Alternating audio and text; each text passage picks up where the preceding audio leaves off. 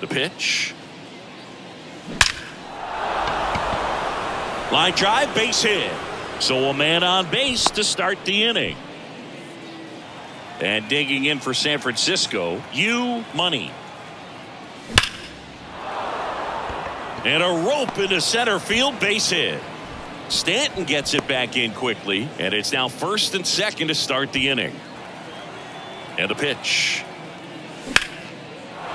That's a laser base hit. They won't test it here. Bases loaded, no outs. Stringing them together, that's three hits in a row. Just a solid swing right there. Caught it out front and ripped it into the outfield.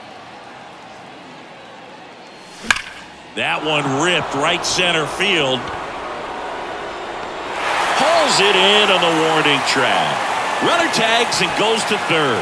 In comes the run from third. And it's now a six run lead.